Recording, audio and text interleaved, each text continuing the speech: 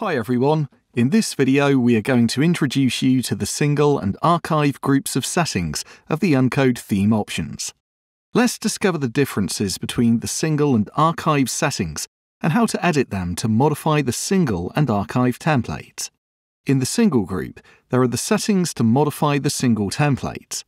In a nutshell, these are the settings to modify a blog article, a normal page, a portfolio project page, or a product single page. In the Archives group, there are the settings to modify the Archives template. These are also commonly referred to as WordPress category pages. As you can see, each of these groups are divided into options that identify the various parts of the page, such as menu, header, content, sidebar, and footer. Let's take a practical example and change the layout of our single blog posts please go to the Single Post options, because this is the corresponding post type. Otherwise, go in the Page or Portfolio option based on the post type you need to modify. I have here created two different blog posts with a pretty standard layout, comprised of a header and a content area. Let's start by modifying the header layout. In another dedicated video, we explore advanced settings like the content block that makes possible to create replicable sections of content, with a page builder to be used as a matrix to style our pages. But for now, I chose the basic header mode.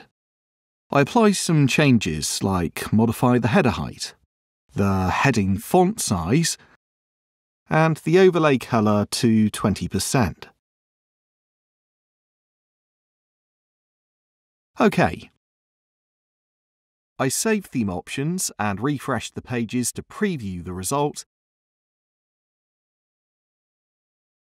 As we can see, they've all been modified thanks to the theme options. Pretty good. Now let's edit the content group.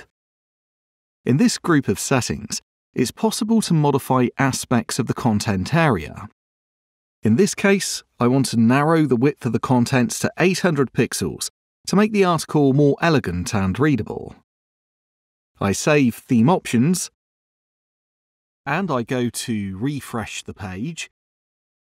Perfect. As you can see, the modifications have been applied and the layout is now bold and minimal. Please note the size of the contents area. I refresh the page, and now is 800 pixels very clean, and modern combination. Now let's make a radical change to the layout. In fact, I want to create a super minimal layout. I disable the header and fix some options in the content group. For example, I activate the title in the content part of the page and the feature image. I save theme options and refresh the pages to preview the result Great. Look at the change that was created in just a few clicks, and it's applied to all the posts. Now that we've seen the single group, we can move on to the archives group. As suggested by the name, in this group there are settings to modify the WordPress archives or category pages. In this case, I edit the Posts option to modify the category page of the blog. I've opened here two category pages, the Travel and Lifestyle archives, that we are now going to modify. I open the header settings. I chose Basic since we will talk about the advanced content block method in a dedicated video. I make some changes both to the header group, modifying some options such as header height, the heading font size, and the overlay, and to the Content Options group, here I modify the limit width and the thumbnails width. I save Theme Options,